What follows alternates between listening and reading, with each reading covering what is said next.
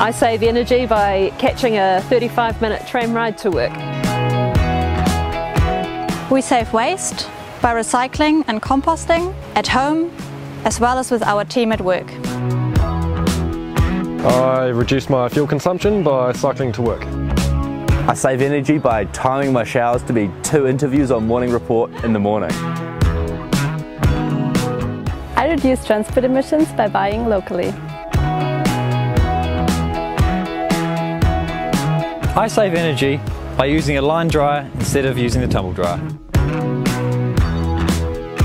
I'm part of Gen Less because I want to be part of success, not excess.